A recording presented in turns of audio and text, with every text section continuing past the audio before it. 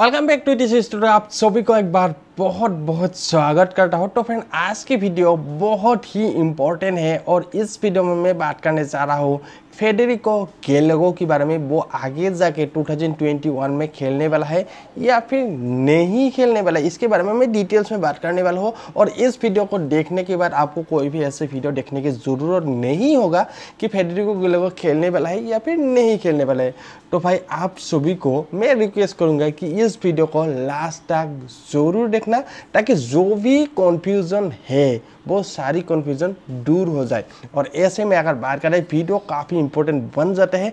बहुत ज़्यादा मैंने रिसर्च किया, उसके बाद जो कि ये वीडियो में शूट कर रहा हूँ ताकि आप सभी को एक से ही इन्फॉर्मेशन पहुँचा पाओ चलिए वीडियो को शुरू करता हूँ, देखते हैं डिटेल्स में। आपको बता दूँ, पिछले कुछ दिनों से सिर्फ़ और सिर्फ़ मैं ऑफिशियल अपडेट के ऊपर वीडियो बना के आ रहा हूँ कि भाई ये प्लेयर खेलने वाला है या फिर नहीं खेलने वाला। बहुत बार वीडियो मैंने लेट डाला। लेकिन इसका जो रीज़न था, सिर्फ़ यही है कि भाई ऑफिशियल अपडेट की इंतज़ार। और इधर अगर देखा जाए फेडरिको गेलो की ऑफिशियल अपडेट की मैंने बहुत ज़्यादा इंतज़ार किया। और अभी तक अगर बात करें, ऐसा कोई भी इंफॉर्मेशन नहीं मिला। फाइनली मुझे कुछ ऐसा अपडेट मिला जिससे मुझे लगता है कि आप सभी को मैं बता सकता हूँ कि ये प्लेयर आगे जाकर खेलने वाला है या फिर नहीं खेलने वाला है। चलिए वीडियो को शुरू करता हूँ। देखते हैं डिटेल्स में सब कुछ हम बात करेंगे बहुत ही अच्छे से। लेकिन उससे पहले आप सभी को मैं बोलना चाहूँगा, अगर आपको ये वीडियो कहीं पे भी अच्छा लग जाए तो लाइक कमेंट और सब्सक्राइब ज़रूर करना। और आप अगर ऑफिशियल अपडेट के ऊपर नज़र रखना चाहते हैं तो इस चैनल को सब्सक्राइब ज़रूर करना। ई टी सी स्टूडियो में सिर्फ़ और सिर्फ़ ऑफिशियल अपडेट आ जाता है। और ऐसे में अगर बात करें, भाई, आप सभी की डिमांड के कारण कभी कभार एक दो अनऑफिशियल भी आ जाते हैं। तो आज के जो वीडियो होने वाला है, बहुत ही इंटरेस्टिंग और आपको बता दो, मेरा जो सेकंड चैनल है आनो की ब्लॉग्स वहाँ ज़रूर जाना। मैंने ऑलरेडी दो blogs video outdoor blogs video upload कर दिया। तो आप सभी जा सकते हैं और बहुत ही अच्छे से देख सकते हैं और लाइक कमेंट ज़रूर कर देना। आप चलिए वीडियो को शुरू करता हूँ और एक बार भाई आपको बता दो, अगर आपको वीडियो अच्छा लग जाए तो लाइक कमेंट और सब्सक्राइब ज़रूर करना। सबसे पहले अगर बात करें फेडरिको गेलो के बारे में एक्चुअली ज़्यादा डिटेल्स में बोलने की ज़रूरत नहीं आप सभी जानते हैं इस प्लेयर को और इससे पहले भी नोटिस यूनिट एफ़ में बहुत अच्छा हमें खेलते हुए देखने को मिला, जहाँ से हमें इस प्लेयर की सब कुछ मालूम है। जैसे कि आप लोग, आप लोगों को पता है उड़ोगिया की प्लेयर है। अगर बात करें अटैकिंग मिडफील्ड में खेलते हैं, बाकी अगर बात करें एज जो है थर्टी वन और एक बहुत अच्छा प्लेयर है ईस्ट यूनाइटेड एफ़ का स्टार प्लेयर है। जैसे कि अगर बात करें निकोलास फिलेस्ट है बिल्कुल वैसा ही है, एक स्टार प्लेयर है। और रियूमस अगर देखा जाए, बहुत सारे ऐसे रियूमस आए थे कि फेडरिको गेलेगो जो कि किसी और टीम ने साइन करना चाहते अगर बात करें चेन्नई की तरफ़ से भी र्यूमर्स आया था और बहुत सारे ऐसे र्यूमर्स आया था। गोवा में भी जाने के चांसेस हमें देखने को मिल रहा था लेकिन फाइनली अभी तक किसी भी टीम ने फेडरिको गेलेगो को साइन नहीं कर पाया। शायद इसका जो रीज़न है वो है नोटिस यूनाइटेड एफसी जिस टाइम पे फेडरिको गेलेगो को साइन किया उस टाइम पे कुछ ऐसा टर्म एंड कंडीशन रख रखा होगा कि आप किसी और टीम में नहीं जा पाओगे। अगर आप इंडिया में खेलना होगा अगर आप आ, भाई नॉर्थ ईस्ट यूनाइटेड एफसी में खेलो अदरवाइज़ आप किसी भी टीम पर नहीं खेल पाए। तो ऐसा भी टर्म एंड कंडीशन हो सकता है उसके साथ। तो इसी कारण से चेन्नई एफ़ से बहुत सहा, लेकिन नहीं खेल पाया। और ऐसे में अगर देखा जाए तो नॉर्थ ईस्ट यूनाइटेड एफसी में शायद आगे जाकर देखने को मिलेगा।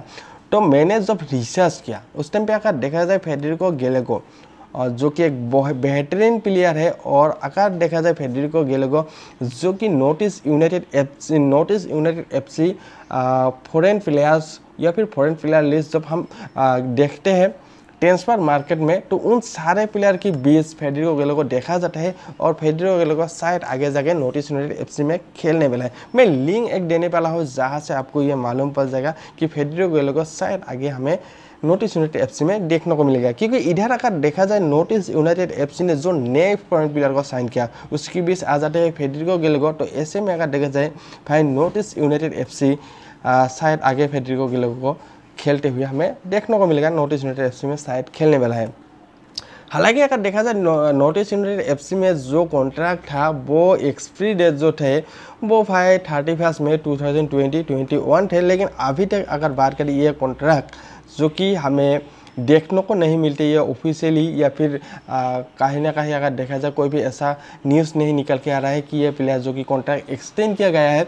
लेकिन अभी भी अगर देखा जाए, जो कि जो सोशल मीडिया से वहाँ हमें देखने को मिल जाता है कि नोटिस यूनाइटेड एफसी और फेडरिको गेलेगो के पास अच्छी खासी एक संबंध है, एक बातें चल रहा है। बाकी अगर बात करें फेडरिको गेलेगो जो नोटिस यूनाइटेड एफसी का फॉरेन प्लेयर लिस्ट उसमें भी मौजूद है तो ऐसे में कहीं ना कहीं हमें लग रहा है कि ये प्लेयर आगे जाकर खेलने वाला है।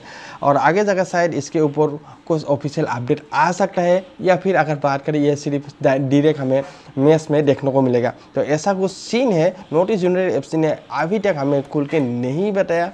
हमें अभी तक ऐसा लग रहा है कि ये प्लेयर आएगा या फिर नहीं आएगा। तो रीमर्स जो थे उस हिसाब से अगर बात करें फेडरिको गिलेगो किसी और टीम में जाने वाला था लेकिन नहीं गया। सब कुछ मिला जुला के अभी मुझे कहीं ना कहीं अगर देखा जाए मुझे आ, मुझे लगता है ये प्लेयर आगे जाके नॉर्थ ईस्ट यूनाइटेड एफसी में ही खेलने वाला है। तो ये ऑफिशियल अपडेट नहीं है। आप लोगों में बोल रहा था कि भाई ऑफिशियल अपडेट के ऊपर सिर्फ़ मैं वीडियो बनाता हूँ लेकिन भाई, आप सभी के सवाल बहुत ज़्यादा मुझे कमेंट किया गया है कि भाई नॉर्थ ईस्ट यूनाइटेड एफ़ में क्या फेडरिको गिले वो खेलने वाला है या फिर नहीं खेलने वाला है? तो मुझे लगता है इसके ऊपर एक वीडियो बना के आप लोगों के साथ शेयर करने वाला हूँ, करना ज़रूरी है। तो इसी कारण से बता दिया। तो कोई भी अगर ऑफिशियल अपडेट आ जाते हैं आगे जाके तो मैं वीडियो बना के आप लोगों के साथ शेयर करने वाला हूँ। फ़िलहाल अगर बात करें, कुछ इसी तरह सीन है। नोटिस यूनाइटेड एफ़ में जुड़ा हुआ है, लेकिन नोटिस यूनाइटेड एफ़ की तरफ़ से कोई ऑफिशियल अपडेट नहीं आ रहा है। मुझे लगता है ये प्लेयर आगे जाके खेलने वाला है, कोई भी दिक्कत नहीं। तो ये ऐसा कुछ है। और हो सकता है नहीं भी खेले, जो भी आगे अपडेट आएगा, उसके ऊपर मैं वीडियो बना के आप लोगों के साथ शेयर करने वाला थैंक्स फॉर वॉचिंग पूरी वीडियो देखने के लिए बहुत बहुत शुक्रिया। मिलते हैं ऐसे कुछ अपडेट के साथ, लेकिन शायद आगे आगे जो भी अपडेट आएगा, वो ऑफिशियल अपडेट के साथ हम मिलेंगे। थैंक्स फॉर वॉचिंग पूरी वीडियो देखने के लिए। बहुत बहुत शुक्रिया।